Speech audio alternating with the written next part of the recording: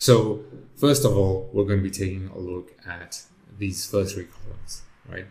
For naming the objectives and key results and deciding whether it's each one is a um, lead or lag metric. So for the objectives, I'm not going to name them properly just yet. So remember that this is iterative. So I'm going to go with North Star followed by each of the DevRel sub-functions. So DevRel is a function in an organization um, that is executed by the DevRel team, the DevRel people, but um, it does have sub-functions or special uh, specializations within DevRel. So let's name them, right? So dev core components, um, dev marketing, um, what else do we have? Dev uh, education and dev success.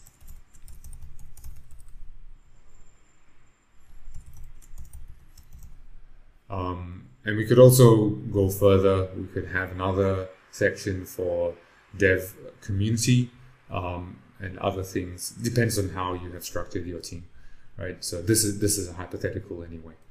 So for each objective, we'll want some key results, right?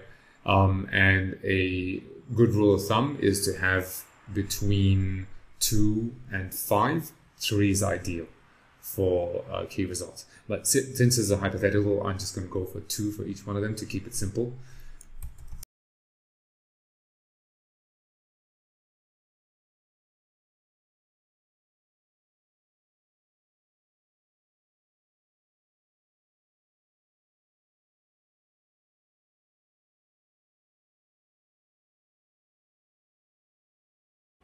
All right, so we're done with this section. I'll just briefly describe what I've done um, to, to do a recap.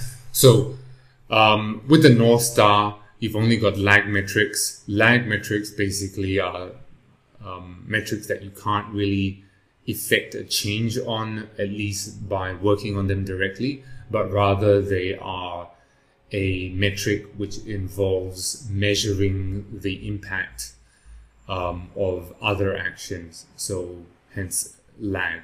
Lead metrics, on the other hand, are things that you actively do. So these are units of work that you do with the intent that they will in some way impact lag metrics. So by definition, North Star uh, metrics um, are should be lag metrics.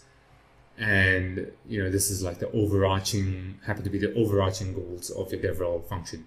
Whereas with each of the areas in DevRel or sub uh, functions within DevRel, I should say, um, that can be a combination of both lead and lag metrics, and that's up to you to decide. Um, now, I'll talk a bit about what I'm thinking about here. So, these two metrics, the North Star, is essentially um, I want more developers, and I want those developers to be doing more developer activity on the on the on the network, right? So, for example, this will be the uh, the number of accounts, and this will be the number of transactions, but not all transactions. For example, you don't want a transfer transaction to be included here, but you do want a smart contract de deployment transaction here.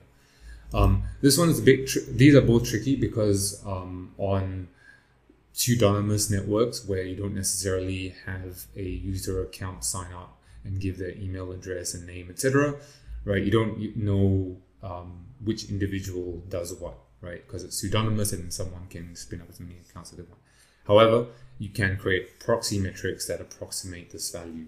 And so long as your uh, technique is uh, consistent, then you will get a uh, result. But it's important to identify them as proxy metrics. Now, for each of the areas, right, um, these are specific to those areas, and I won't go directly, uh, I won't explain what those are necessarily. That's not the objective of this video, but um, we can uh, we can take a we can take a look at some relationships that we have between them.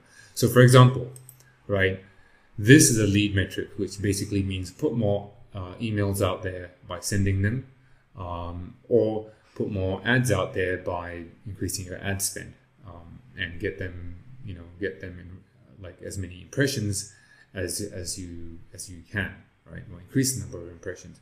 The second one, which is something that you don't have direct control over, is a lag metric. It depends on this one, previous one, the lead metric as a prerequisite, and that's actually a common pattern between lag and lead metrics.